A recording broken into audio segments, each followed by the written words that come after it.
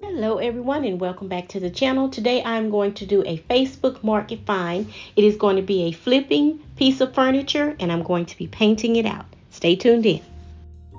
So hello and welcome back to the channel everyone. It's me Shenell here and a video for painting or making over a furniture find.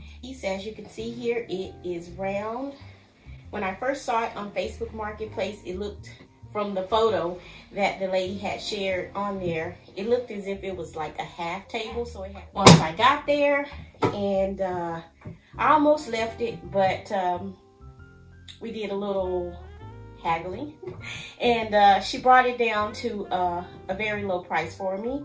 And I'm going to be reselling this piece. Divulge the price of it. It was trust me an excellent excellent deal. And what I'm going to do is just go ahead and clean it up. Am I worried about working here in my maker room?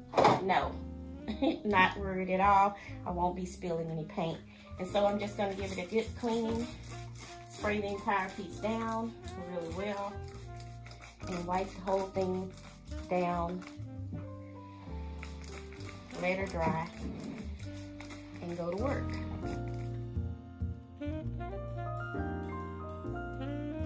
Already home and so far I gave it a light sanding coat over it. I did just a light clear coat of clear shellac over it. Like the interior, I'm thinking about painting the interior of it to give it just a little bit contrast and pretty when you open up the door. Now, it looks as if it is two doors, two separate doors, but it is actually just one door, which I like that. And it is solid wood, the entire piece is solid wood. I thought about stripping the whole thing down and leaving it in natural wood. But it is such a cute accent piece I thought it would look even better just painted. And with this piece I'm going to be using some Rust-Oleum chalk paint and it is in this and it is called blush pink. Open it up here for you. These things come in so handy that they give you at the paint store so I always keep these on here. And I keep several of them. Always painting furniture. So as you can see, this very lovely shade of pink. Very light.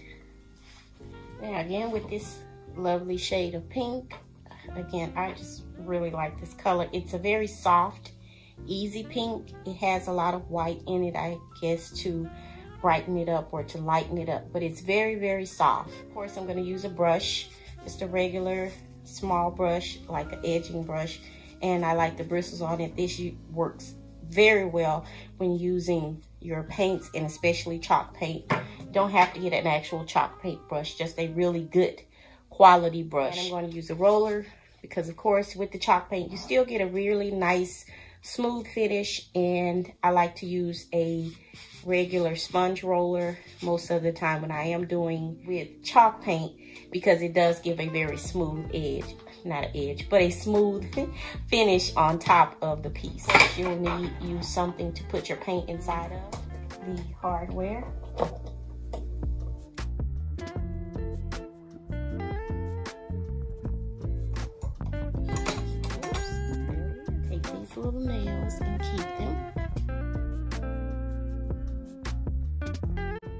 And now we will proceed to just painting the piece. And I'm going to go over it with a light coat, first coat of the chalk paint along the entire piece. To let it continue to dry for at least two hours, maybe three hours in between coats. And most likely I'm going to put on three coats since I am not doing a white primer on the base of the piece. I just did a clear coat again of shellac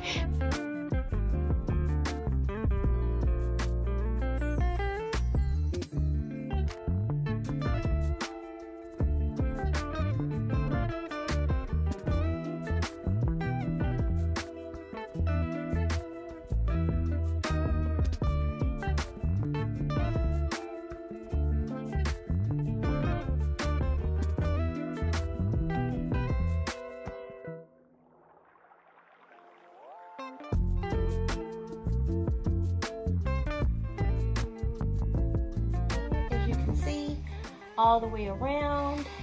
And I didn't paint the interior of the cabinet. I left it the same. Add the polyacrylic to seal it on top because it is chalk paint. Very porous, very scratch. Uh, you can scratch it. And if you rub hard enough, with water, soap and water, you could wash it right off. With you a good polyacrylic, I like this one for many, It dries quickly, gives a great finish. They have different finishes. Again, with this piece, it is not going to stay here. It is going to a new home and a new home after that, which I will be sharing in later videos. Uh, follow me on Instagram over at Angelic Interior Designs and uh, you'll catch some snippets over there of uh, some of the things that are going to be coming along for the channel. To apply the polyacrylic with a roller as well as a brush along these portions of the cabinet. I'm just going to use a brush to apply a thin coat and then I'll go back over with another coat once that dries. Pour my acrylic into a container when I'm using it. I don't like to use it straight out of the can because with the different paint colors, um, it does bleed a little bit into it. So you don't want to, unless you're going to just tint your clear coat for your top coat as well on your paint.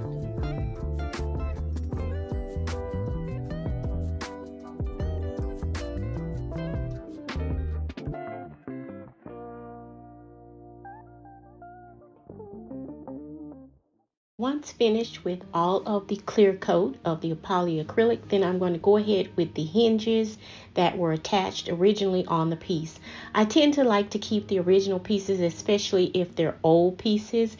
Um, sometimes I like to mix the more newer knobs or handles with older pieces, but in most cases, I like to keep the originals if at all possible. And here I'm going to use some toothpaste and this is a great product to use instead of a another chemical that you could use to remove uh, old rust and debris from your hardware like this brass. And the toothpaste does the trick excellently as you can see here. And it still has a little bit of an age appearance which I really love and it goes along with the piece. And here you can see the before and after of each one of the backings that goes on the piece and then I'm just going to go in here and apply them back to the piece and I'll just do a little staging on it and uh, let you see that. So thank you all for joining me here. Don't forget to join me on my other social media sites and that again is linked down below in the description box and I'll see you all for the next one. I hope you enjoyed the video. Continue to stay motivated, inspired, and moving, creating something beautiful, if not for yourself, for someone else and it all is from the inside and it exudes outwardly. Thank you for joining me again. This has been Shenell. Bye for now.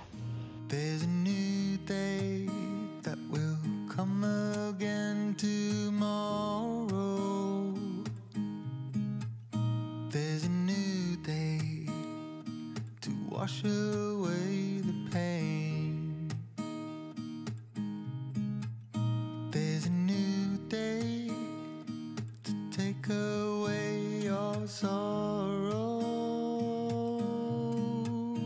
and the old ways get washed out by the rain.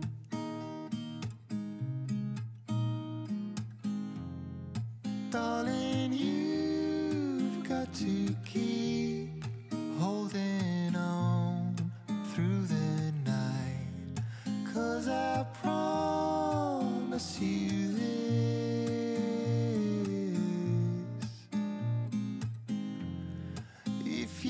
try to get some sleep.